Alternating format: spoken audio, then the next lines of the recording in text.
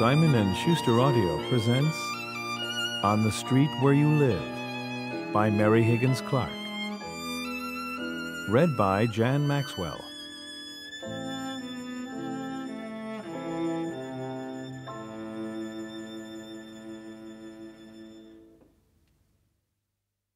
Tuesday, March 20th. He turned onto the boardwalk and felt the full impact of the stinging blast from the ocean. Observing the shifting clouds, he decided it wouldn't be surprising if they had a snow flurry later on, even though tomorrow was the first day of spring. It had been a long winter, and everyone said how much they were looking forward to the warm weather ahead. He wasn't. He enjoyed Spring Lake best once late autumn set in. By then, the summer people had closed their houses, not appearing even for weekends. He was chagrined, though, that with each passing year, more and more people were selling their winter homes and settling here permanently. They had decided it was worth the 70 mile commute into New York so that they could begin and end the day in this quietly beautiful New Jersey seaside community. All of these people shared so much the summer visitors, the permanent dwellers, but none of them shared his secrets. He could stroll down Hayes Avenue and visualize Madeline Shapley as she had been in late afternoon on September 7, 1891, seated on the wicker sofa on the wraparound porch of her home, her wide brimmed bonnet beside her.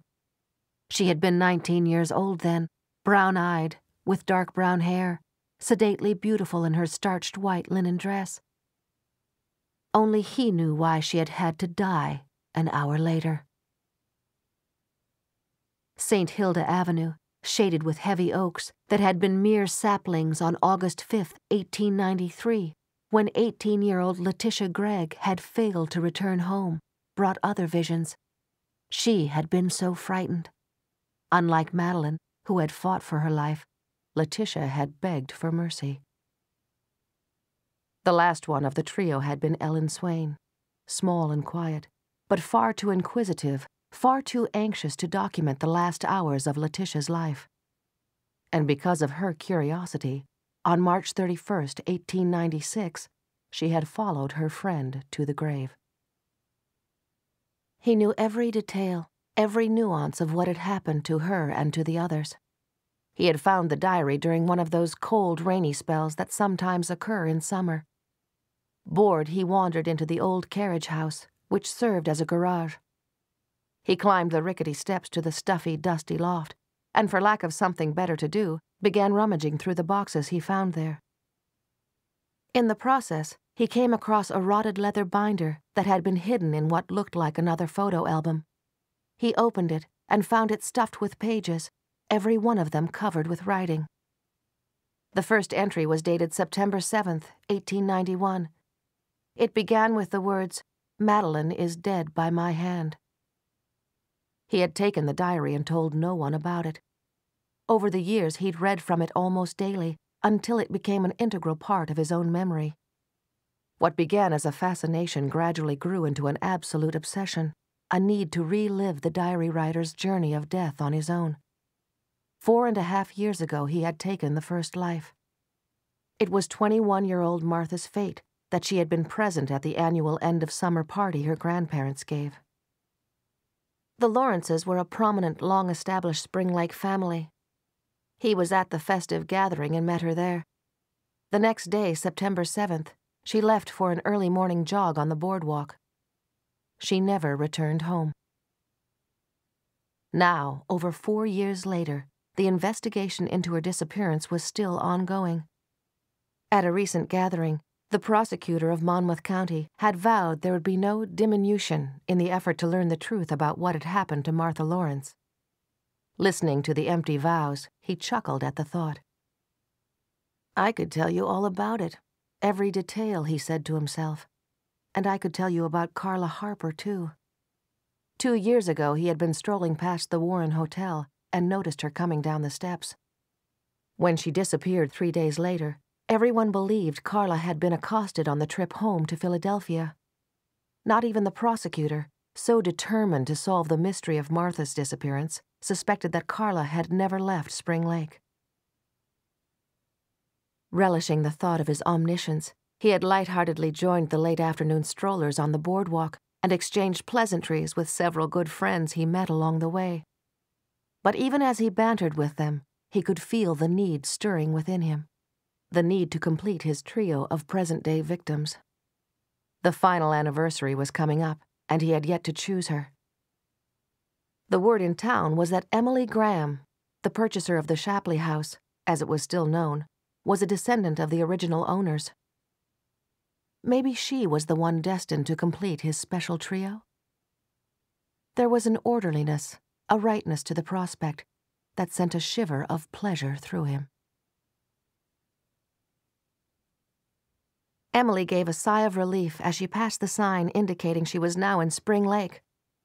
The drive from Albany had taken nearly eight hours. She had left in what was supposed to have been periods of light to moderate snow, but which had turned into a near blizzard that only tapered off as she exited Rockland County. Emily smiled involuntarily as she drove slowly through the darkened streets.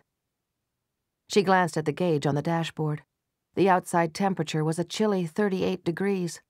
The streets were wet. Here the storm had produced only rain, and the windshield was becoming misted. The movement of the tree branches indicated sharp gusts of wind coming in from the ocean. But the houses, the majority of them restored Victorians, looked secure and serene. As of tomorrow, I'll officially own a home here, Emily mused.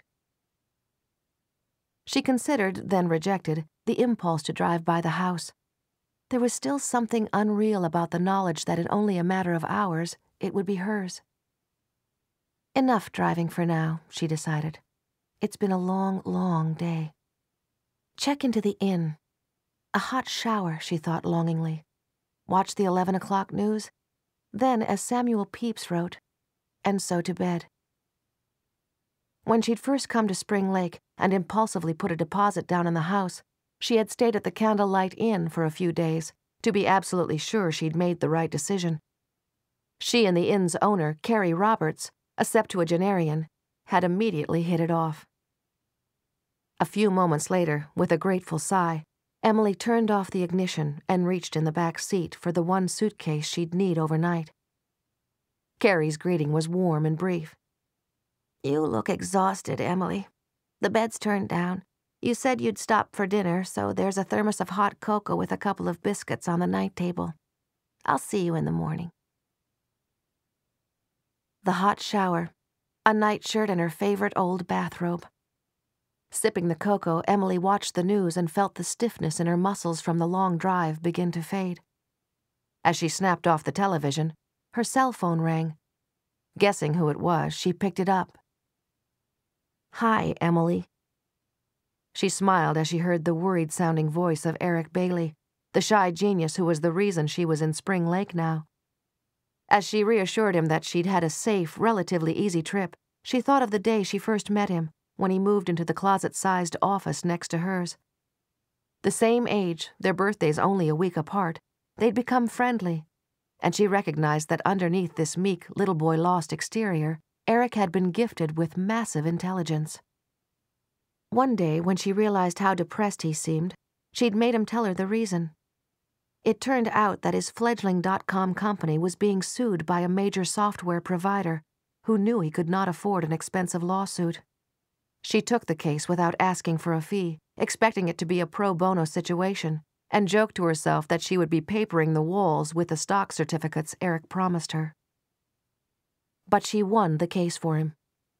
He made a public offering of the stock, which immediately rose in value. When her shares were worth $10 million, she sold them. Now Eric's name was on a handsome new office building. Their friendship had continued, and he'd been a rock during the time she was being stalked. He even had a high tech camera installed at her townhouse. The camera had caught the stalker on tape. Just wanted to see that you made it okay. Hope I didn't wake you up. They chatted for a few minutes and promised to talk again soon. When she put the cell phone down, Emily went to the window and opened it slightly. A rush of cold, salty air made her gasp, but then she deliberately inhaled slowly. It's crazy, she thought. But at this moment, it seems to me that all my life I've been missing the smell of the ocean. She turned and walked to the door to be absolutely sure it was double locked. Stop doing that, she snapped at herself. You already checked it before you showered. But her hands were suddenly clammy as she remembered the first time she had come home and realized he'd been there. We hope you enjoyed this preview.